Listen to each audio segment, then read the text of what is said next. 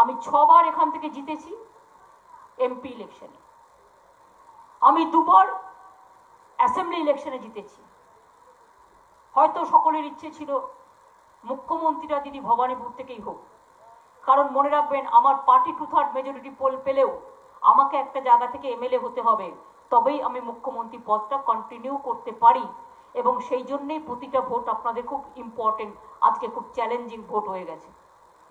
BJP নানা রকম চক্রান্ত করবে, কুৎসা করবে, অন্যান্যরাও করবে। নানা রকম পরিকল্পনা করছে নানা রকম চক্রান্ত করছে। মানুষকে হস্টাইল করবার জন্য কোথায় দাঙ্গা লাগাবে? কোথায় একটা মেয়ের ওপর অত্যাচার করবে? নানা রকম আমার বাড়িতে কালকেও কাগজপত্র এসছে, কেউ কেউ দিয়ে পাঠাচ্ছেন ওয়েল উইশাররা।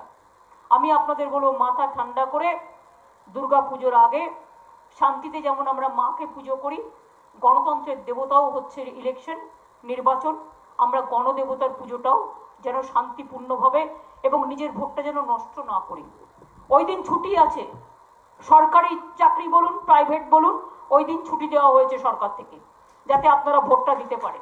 ছুটিটা দেওয়া আছে। কাজে এটা মনে রাখবেন না যে আমি প্রাইভেটে গেলাম, টাকা দিল না। যদি টাকা না দেয় তখন আমাদের ধরবেন। কারণ আমাদের নোটিশটা আমি ববিকে বলব, নিয়ে এসে দিয়ে দিতে। নোটিশ অলরেডি ইনস্ট্রাকশন দেওয়া হয়েছে। এটা ইলেকশন কমিশনের নিয়মে পড়ে। কাজে প্রতিটা ভোটের মূল্য আছে।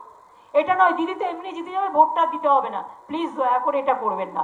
আপনারা যদি আমাকে মুখ্যমন্ত্রী হিসেবে কাজ করতে দিতে চান, তাহলে আপনারা জেনে রাখবেন, আপনাদের একটি ভোট আমার কাছে একটি আশীর্বাদ, একটি রত্ন, একটি গ্রহ এবং একটি চন্দ্র, একটি সূর্য, একটি গ্রহ, একটি তারা।